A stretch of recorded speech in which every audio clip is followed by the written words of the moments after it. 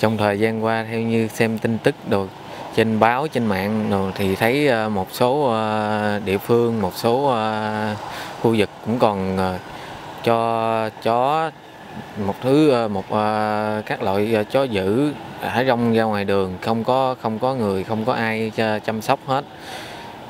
Thì vậy người dân phản ánh rất nhiều, cho nên ở đây tôi cũng nhìn thấy được điều đó nên tôi cũng muốn ờ, khuyên ờ, tất cả mọi người khi mà mình có nuôi một con vật thú cưng gì đó, mình có thả cho nó chạy ra đường thì mình nên xích dây nó lại hoặc là mình dắt nó đi hoặc là mình cho nó ờ, có một cái chùm cái cái cái cái cái cái đồ cái đồ mà để mà chụp cái miệng nó lại á, cho nó nó nó nó nó nó không ảnh hưởng đến nguy hiểm đến người khác để cho người dân, người ta không cần, không còn phải sợ nữa.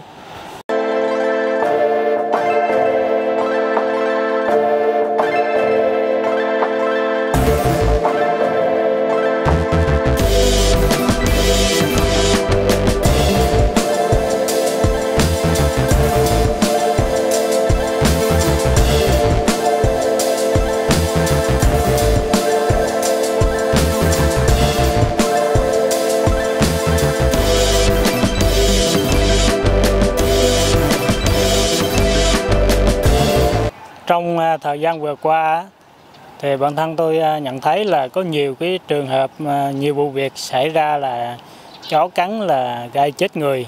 Để tránh những cái trường hợp đáng tiếc xảy ra thì người nuôi chó khi mà thả rong ra đường á là cần phải à, rõ mõm và phải xích dây. Ngoài ra thì cũng cần mà, tiêm ngừa dạy cho chó.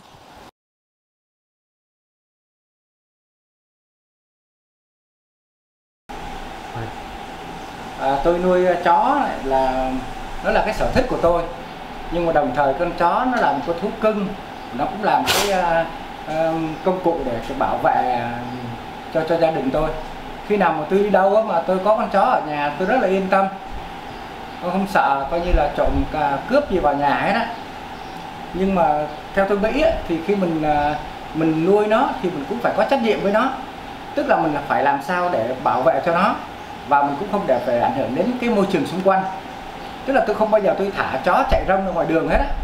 Vì để chó chạy rong ra đường nó rất là nguy hiểm. Có khi nó gây ra tai nạn giao thông. Những người xe cộ mà chạy đụng một con chó có thể là, là, là chết người. Hoặc là nếu mà không á, thì nó chạy ra ngoài đường nó tiểu tiện thì cũng là mất vệ sinh lắm trong nó mất mỹ quan đô thị. Ngoài ra khi mà tôi nuôi chó thì tôi phải có bảo vệ cho nó là tôi chích ngừa cho nó đều đặn hàng năm. Việc này thì không chỉ để bảo vệ cho nó và bảo, bảo, bảo vệ cho thú cưng của tôi mà còn bảo vệ cho cộng đồng xung quanh nữa.